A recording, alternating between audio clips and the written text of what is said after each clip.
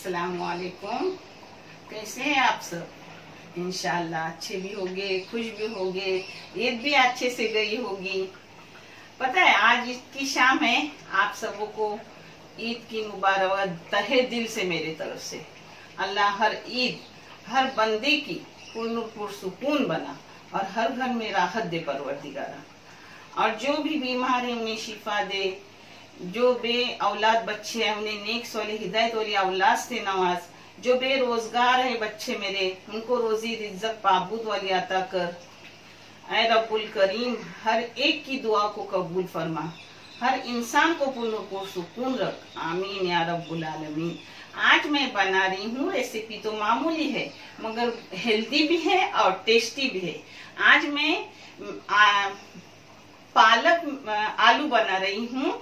और दोपहर का जो कोरमा है, उसको फ्राई कर रही हूँ उसके साथ शाम के लिए। जो आप देखो, बहुत बेहतरीन फ्राई किया हुआ कोरमा रहता है और उसके साथ आलू पालक बहुत अच्छी रहती है। और उसके साथ पराठे। आप भी करो और आप मुझे बता, आपको मेरी रेसिपी कैसी लगी। चलो, जिसके लिए मैं कर रही हूँ, आप देख लो। जो जो चीज़ डालूँगी, वही दिखाऊँगी। चलो।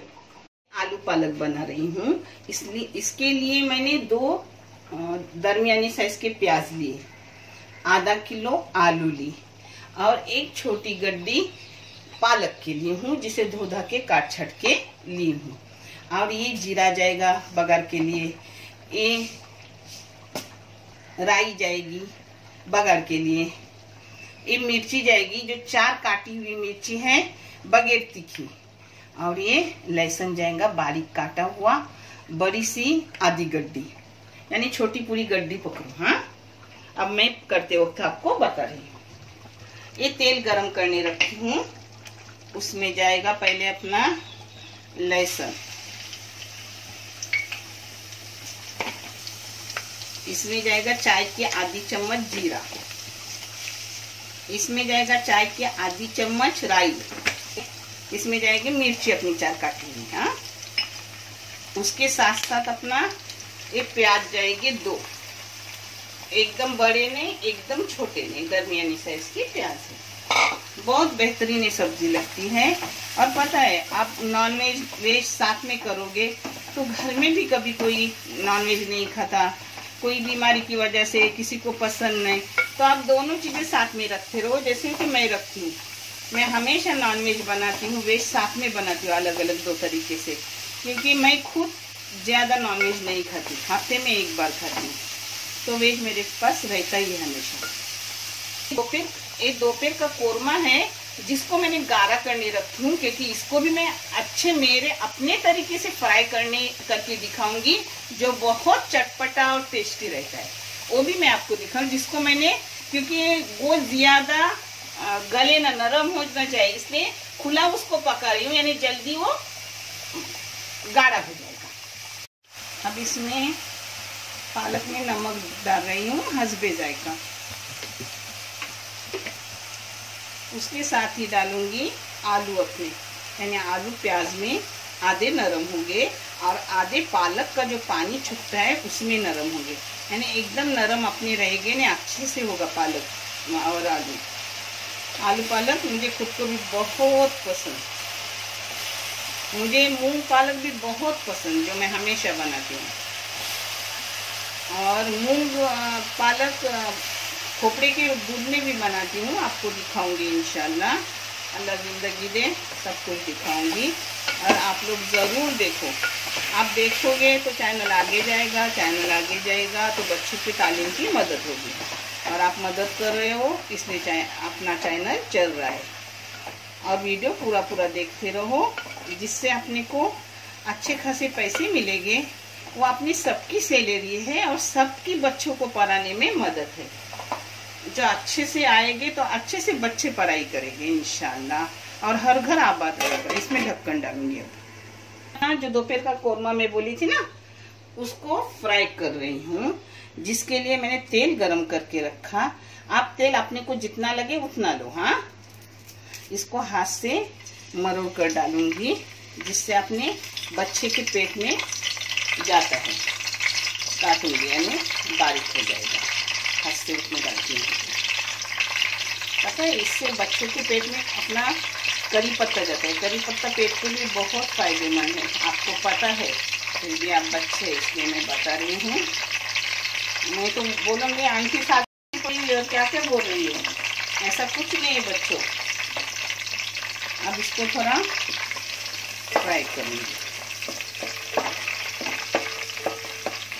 थोड़ी सी पत्ती की खुशबू छिपने दी तेल में अब इसमें अपना पूरा कौरमा डाल रही हूँ। हाँ एक कौरमा है, वो पहले उसका पानी डाल रही हूँ, फिर बोटियाँ डालूँगी, यानी ज़्यादा नरम नहीं हो गया हाँ। अब जो जो मैं डाल रही हूँ कुटने इसको कुटने का हाँ। अगर आप मिक्सर में लगाए तो भी चलता है हाँ ऐसा कुछ नहीं। ये देखो, पहले मैंने लहसुन डाले। अब इसमें डाल रही हूँ मिर्ची। मिर्ची है चार और लहसुन है आधा गड्डी बड़ा था, यानी छोटी गड्डी पूरी हाँ? इसमें अब डाल रही हूँ काली मिर्ची एक चाय की चम्मच भर के।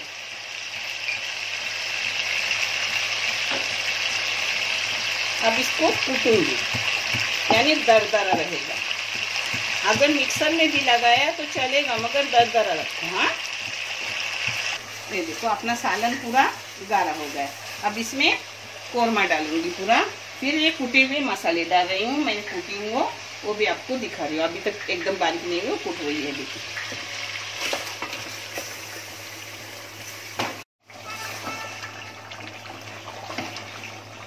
देखो, एक इधर अपना पालक का आलू पक रहा है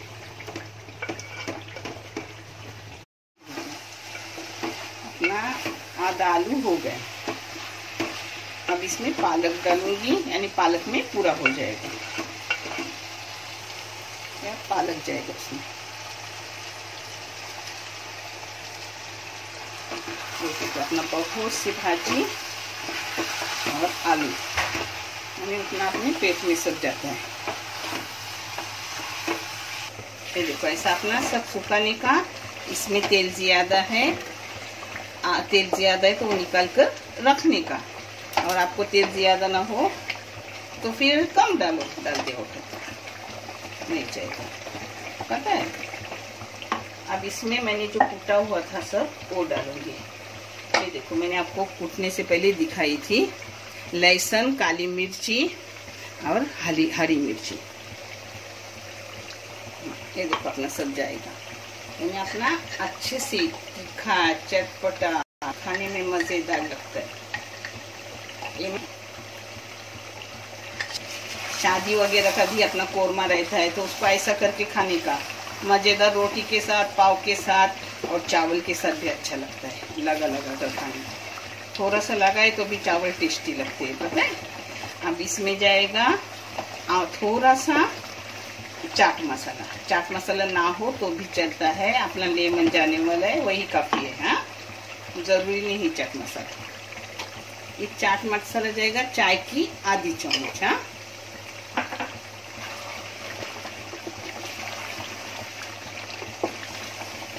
अल्लाह सबकी कुर्बानियों को कबूल कर।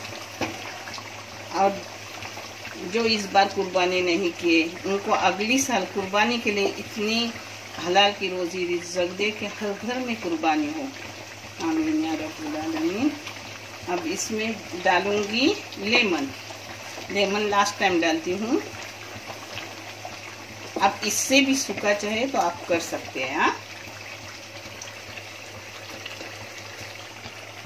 अब इसमें जाएगा अपना लेमन का जूस। आप जितना कोरमा उसी हिसाब से लेमन, मसाले वगैरह कूटने के लिए डालने का। मैंने पूरा नींबू डाली हूँ, क्योंकि एक किलो होगा।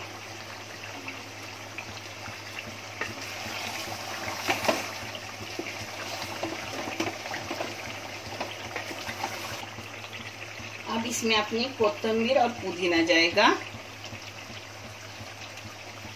देखो। मिर्ची के टुकड़े रहे थे, उसी में अब डाल रही हूँ। जो कुटने, कुटते वक्त रहे थे, अभी डाले भी नहीं थे कुटते वक्त एक सेट में वो रह गए दो तीन टुकड़े, एक लहसुन के बीच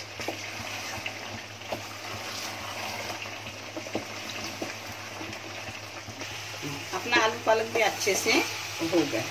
अब इसको बंद करके रख रही हूँ। आलू भी गल गया, पालक भी हो गई। पालक होने में टाइम नहीं लगता। इसी टाइम पर इसको ख़त्म करती हूँ।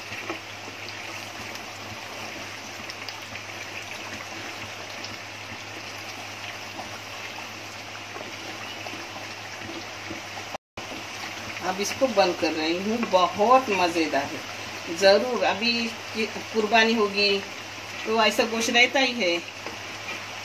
शादी का गोश्त भी रहता है। अपने आजू बाजू में शादी हो तो अपने को भेजते हैं। उसको भी ऐसा करने का। मज़ेदार, खुशी से खाएँगे, दाल चावल के साथ भी। और ऐसा ही थोड़ा सा इसका मसाला पुलाव को लगाओ, यानी जीरा राइस को। अच्छे से खाया जाता है। रोटी के साथ भी बहुत बेहतरीन। अब इसको बंद कर देंगे। भाजी परोस रही हूँ।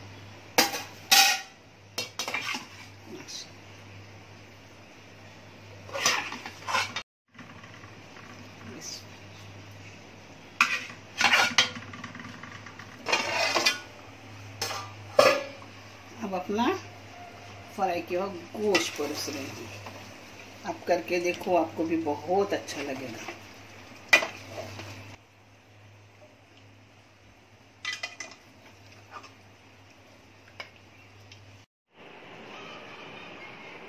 असलकुम फ्रेंड्स बहुत बहुत ईद मुबारक हो। ये जो है मेरी मम्मी का दोनों फेवरेट है, और बहुत टेस्टी है। आप करके देखिए आपको बहुत पसंद आएगा। आप ये दोनों चीज़ें करके देखो, माशाल्लाह मेरे बहू को, दामाद को, बेटी को बहुत पसंद आता है। आलू पालक छोटे बच्चे भी अच्छे से, टिफ़िन में भी अच्छा पाव में भर के भी देने को अच्छा और जो अपना कोरमा रहता है, कभी शादी का कोरमा रहता है तो उसको ऐसे टाइप से फ्राई करो, जो बहुत ही टेस्टी रहता है। आप तेल चाहे, आप चाहे तो तेल कम डालो, नहीं तो न डाले तो भी चलेगा। मगर बहुत अच्छा रहता है। आज मैं थोड़ा पराठे करने में सुस्ती की तो पाव खा रहे हैं, क्योंकि ईद के इंसान थकता है ना। सभी लोग थकते हो गए अल्लाह सबकी कुर्बानी को कबूल कर और हर घर को पूर्ण सुकून रख।